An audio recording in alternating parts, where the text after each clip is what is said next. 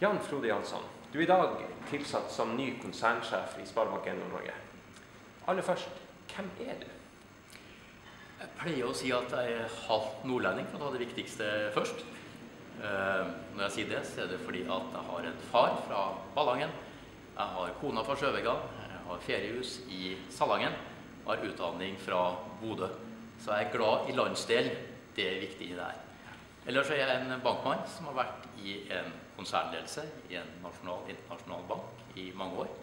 Også vært i næringslivet. Og så har jeg en utdanning hvor jeg, jeg pleier å si litt sånn faglig bastard. Litt uh, ingeniør og litt økonom.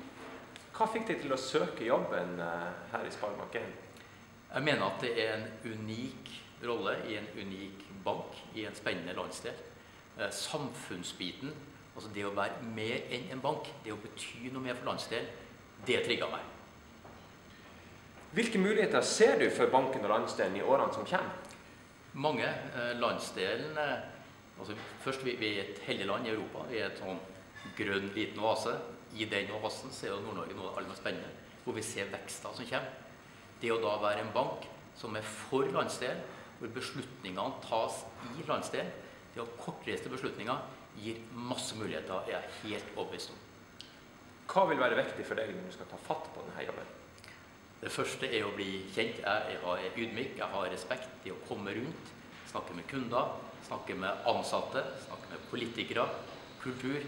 Det er viktig. Bli kjent med det, forstå det.